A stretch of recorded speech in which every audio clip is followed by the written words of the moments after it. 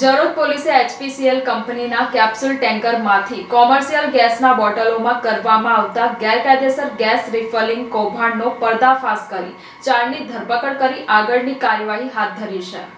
આ અંગે પ્રાપ્ત માહિતી અનુસાર ભરૂચ જિલ્લાના દહેજ ખાતે એચપીસીએલ કંપનીના લોડિંગ પોઈન્ટ ખાતેથી કેપ્સ્યુલ ટેન્કર ગાડીમાં ગેસ ભરીને ઇન્દોરમાં એચપીસીએલમાં ખાલી કરવા માટે રવાના થતી કેપ્સ્યુલ ટેન્કર ગાડીના ડ્રાઈવર દ્વારા વડોદરા હાલોલ હાઈવે પર જરોદ પોલીસ મથક હદ વિસ્તારમાં આવેલ ભણિયારા ગામે સ્મશાનની ખુલ્લી જગ્યામાં કેપ્સ્યુલ ટેન્કર ગાડીમાંથી ગેરકાયદેસર કોમર્શિયલ ગેસના બોટલો રિફલિંગ કરવાના ચાલતા કૌભાંડનો જરોદ પોલીસે પર્દાફાશ કરી ગેરકાયદેસર ગેસ રિફેલિંગ કરતા ચાર ઇસમોને રંગે હાથે ઝડપી પાડી રૂપિયા પાંચ પોઈન્ટ લાખની કિંમતનો મુદ્દામાલ કબજે કરી કાયદેસરની કાર્યવાહી હાથ ધરી છે. જરોદ પોલીસે એચપીસીએલ કંપનીના કેપ્સ્યુલ ટેન્કર ગાડીમાંથી કોમર્શિયલ ગેસના બોટલ ગેરકાયદેસર કરવામાં આવી રહેલ ગેસ રિફલિંગ કૌભાંડનો પર્દાફાશ કરી સ્થળ પરથી કેપ્સ્યુલ ટેન્કર ચાલક હલીમ ખાન મુનસી ખાન, ભગવતભાઈ ગજનલાલ રાઠોડ તેમજ કોમર્શિયલ ગેસના બોટલ રિફલિંગ કરવા લઈને આવનાર સંજયસિંહ, ઓમપ્રકાશ બિશ્નોઈ